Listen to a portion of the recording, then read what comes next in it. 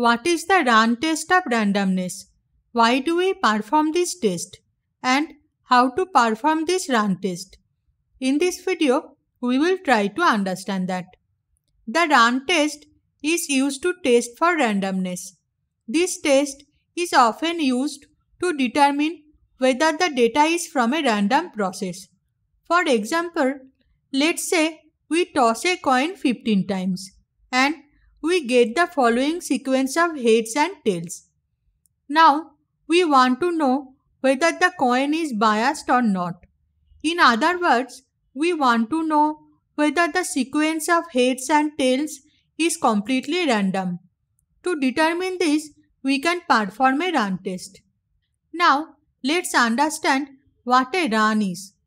A run is defined as a series of consecutive values of the same type.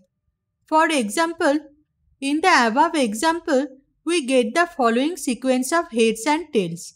So, HH is one run, T is one run, then HHHH is one run and so on. So, all total we got 8 runs. Now, we need to define certain variables.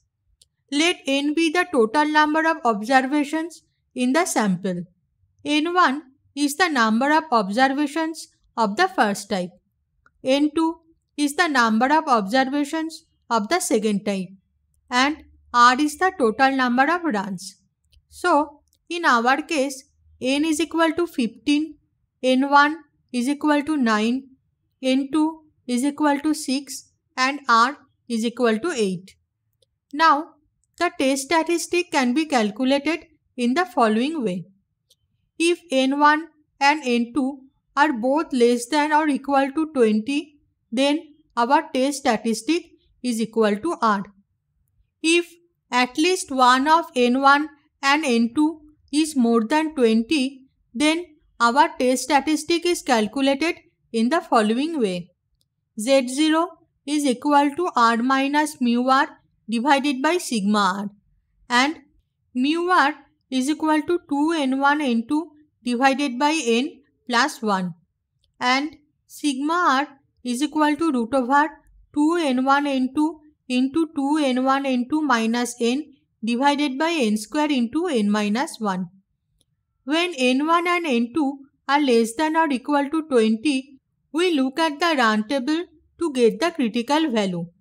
And if at least one of n1 and n2 is more than 20, we look at the z table to get the critical value and compare the critical value with the test statistic to determine whether the null hypothesis should be accepted. Now, let's look back at our example. The null hypothesis in our case is that the data is from a random process. In other words, the coin is unbiased. And the alternative hypothesis is that the data is not random. In other words, the coin is biased. Let's also assume that the level of significance alpha is 0.05. Now, in our case, both n1 and n2 are less than 20. So, our test statistic is equal to the number of runs that is r that is equal to 8. Now, we will look at the run table to find out the critical value. Here is a run table. In our case, n1 is the number of observations of one kind. That is the number of observations of heads that is equal to 9 and n2 is the number of observations of tails that is equal to 6. We get the critical values 4 and 13 for alpha is equal to 0.05.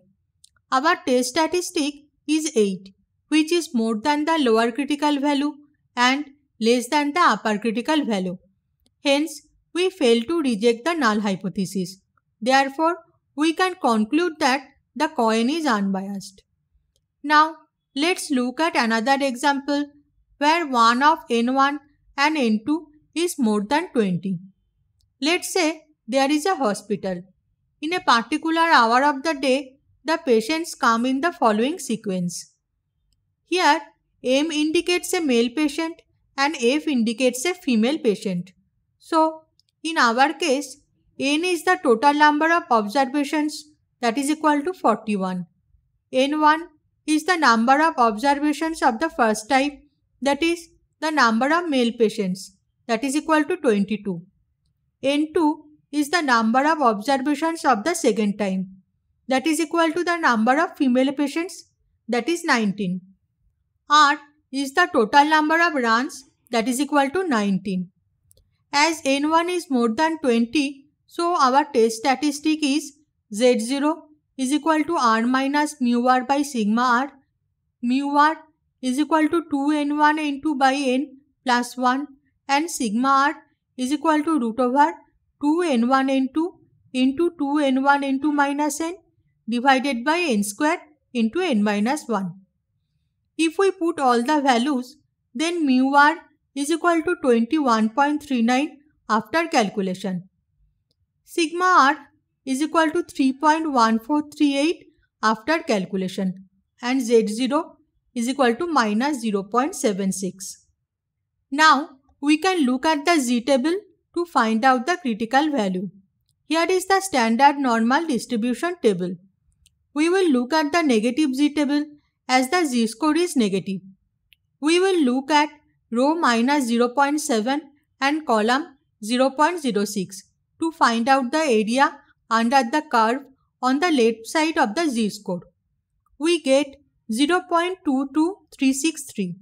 As the standard normal distribution graph is symmetric, the area on the right side of the z-score 0.76 also will be 0.22363. So, the total area is 2 into 0.22363 that is 0.44726. As this value is more than 0.05, we fail to reject the null hypothesis. Therefore, we can conclude that the patients arrived at the hospital in a random manner.